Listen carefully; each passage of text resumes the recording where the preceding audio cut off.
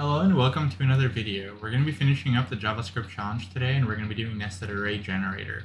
So in this problem, you're given a multi-dimensional array of integers, return a generator object which yields integers in the same order as the in-order traversal. A multi-dimensional array is a recursive data structure that contain, contains both integers and other multi-dimensional arrays, and we need to traverse left to right, yield any integers it encounters, encounters and apply in-order traversal to every array. Okay, so let's read this. So we are yielding any integer we encounter and we will apply in-order traversal to any array. Okay, that's pretty straightforward. So let's, let's think about how we would do this recursively, right? So let's just start off with that. Let's say we have this example and we have an access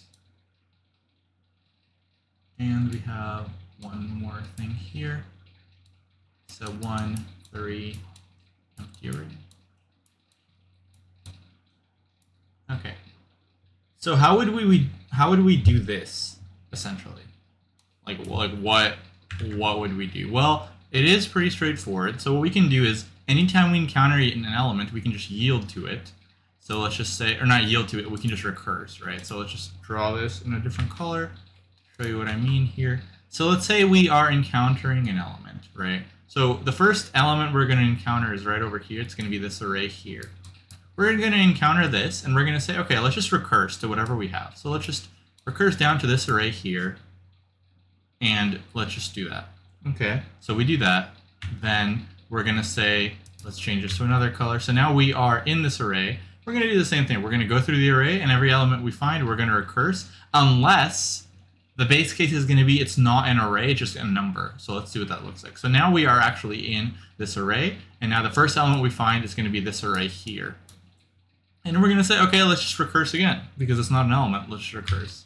So then let's say we're in here, and then we're going to say, okay, that's a number. So we don't need to recurse, we can just print it, or, what, or whatever, we can push it to our result. Let's say we have this result array here, right? So we can say, okay, let's just push it to the result, and because we, we encountered a number instead of an array, we don't need to recurse. Let's just push that number and let's return, right? So then we will return, and then we will be outside here.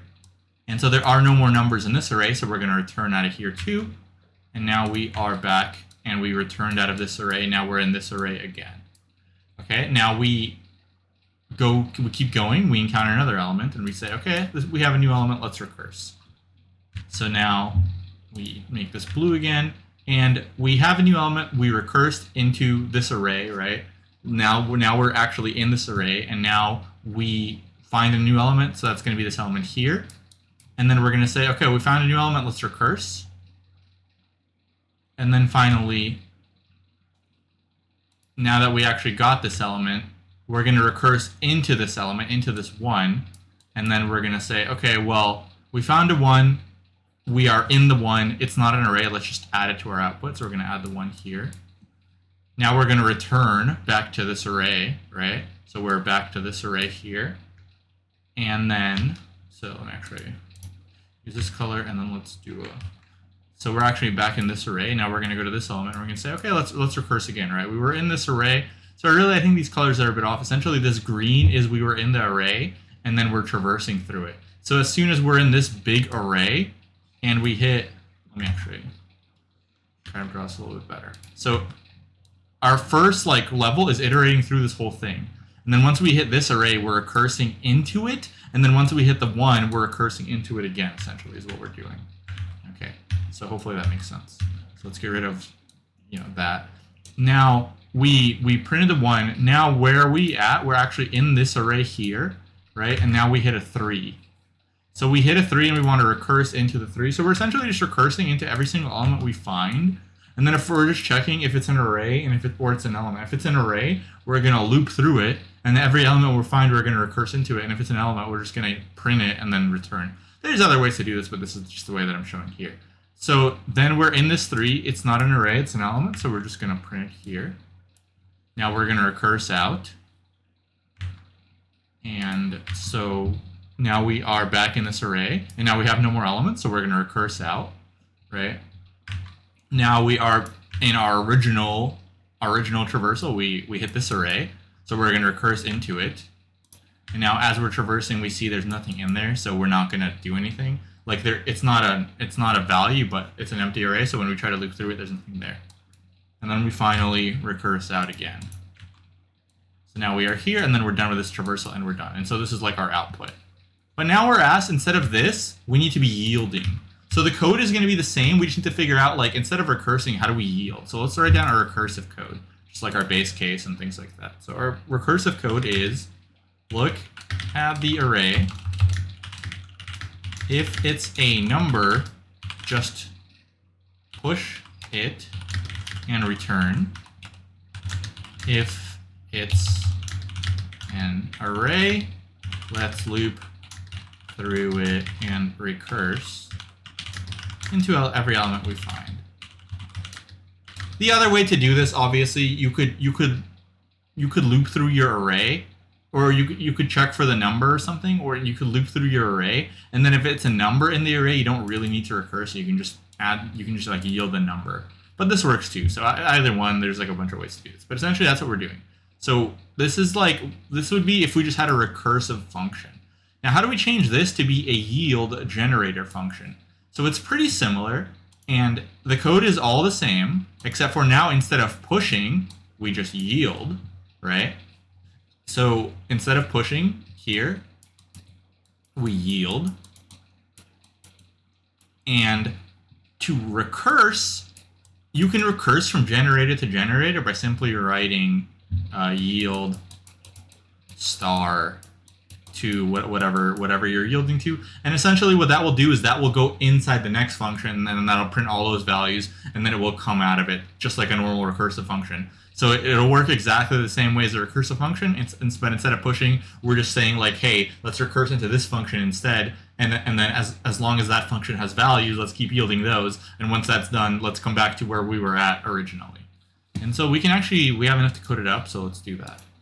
So what's our base case? Our base case if not array, and like I said, there's there's a few ways to do this, but this is one of them. So if this is not an array, then we're going to yield the value. So we're going to yield it, and then we're going to return, right? We're, we're done with that function. And then this should be the function that's going to recurse. We're going to recurse out of here into something else.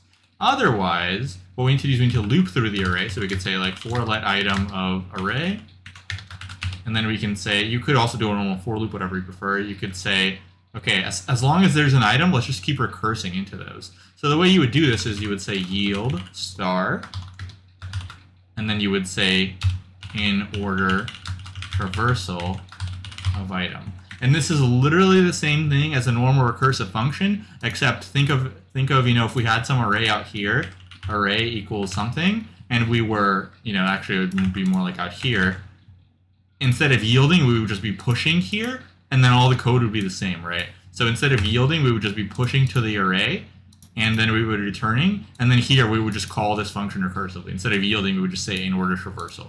But it's all the same like layout and flow over recursive function. Recursive function, it's going to work all the same way. So now that we yielded to this recursive function, it's going to go until there's nothing left, then it'll come back, then it'll keep doing this. And we're going to be yielding to every single element we find. And then finally, we're going to return. So let's try that. Okay. So that does work. Now there's another way to do it. There's a few more ways to do it. I'm going to show you one more, but this kind of defeats the purpose of a generator. So what you could also do is you can actually just make a flattened array, right? So if you have something like this, you can actually just call like array.flat on it, on it, and then flat takes the array and it also takes how far you want it to flat. So you can just give it some really big number, and essentially what that'll do is it'll flatten it all the way. So the, the, the number it takes is like the number of levels you want it to flatten. So if let's say your array was like 10 levels deep and you only gave it 8, it would only flatten it 8 levels deep and leave everything as an array. But essentially you could say like constant res equals r dot flat, and then you can give it some number. I think it's like infinity or something in JavaScript. I think this works. So if you give it infinity, it'll essentially flatten it all the way and then you can just say for let item of res, let's just yield that because now we actually have all the, this is like a flattened array now essentially. But this is not great because the whole point of a generator is you are getting these numbers on the fly. So this is going to be really good with like a data stream where, you know, you can just be get, getting more and more and more data where this kind of defeats the purpose of a generator, right? Like we're creating an array with all our outputs, so what's the point of using a generator? Let's see what we have here. Um, oh, we need to yield the item. There we go.